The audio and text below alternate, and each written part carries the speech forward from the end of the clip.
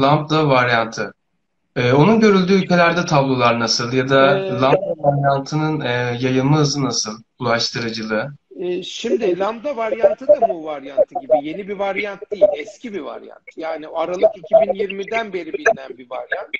Ee, bu daha çok Şili ve benzeri çevresinde yine Güney Amerika'dan kaynaklı bir varyant.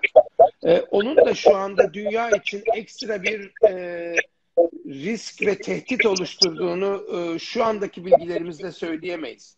Yani bununla ilişkili e, kaygılar var. Zaten Dünya Sağlık Örgütü bu varyantları takibe alırken üç şeye dikkat ediyor. Daha çok yayılıyor mu? Bir.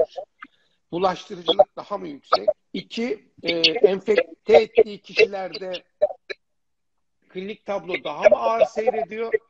Üç, e, bizim şimdi kullandığımız aşılar e, bu virüslere karşı etkili mi?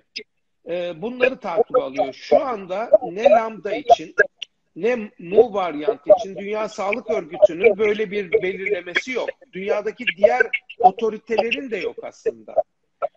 Ee, yani e, bizim bir bir kişiler olarak da zaten bu detayları e, mu varyantı, delta varyantı, bu da, e, işte lambda varyantı bu detayları bilmekle ilişkili de bir derdimiz yok. Şimdi mesela bunu bu söylediğim aslında e, beni şöyle doğruluyor. Alttan akan e, soruları görüyorum. Ben hala insanlar aşılarla ilgili sorular sormaya başlıyorlar. Hala e, çalışıyorlar. Hala e, kafalardaki e, belirsizlik aslında aşılarla falan ilgili. Ne yapmalıyım, nasıl yapmalıyım, hangisini yapmalıyım, yapmalı mıyım?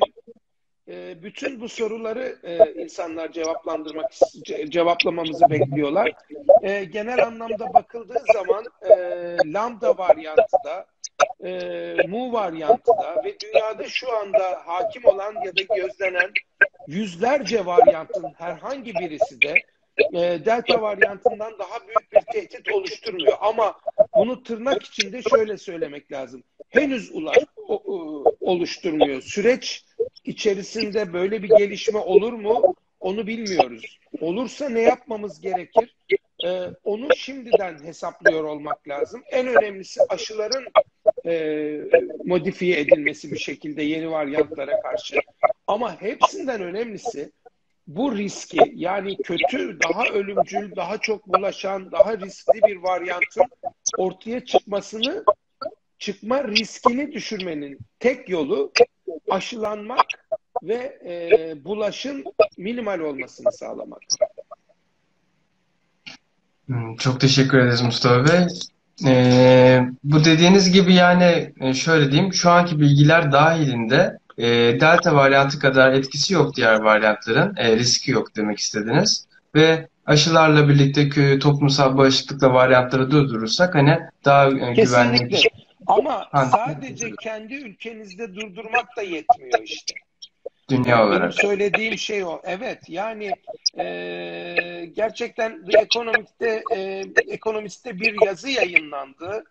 E, dünyada e, bağışıklama oranının ya da toplumsal bağışıklığın yüzde yetmiş seksenin altında olan ve bu e, istenen bağışıklama oranlarına ulaşamayan ülkelerde e, yıllık e, 12 trilyon dolara yakın bir kayıp olacağı söyleniyor. Dünya global, global olarak yılda.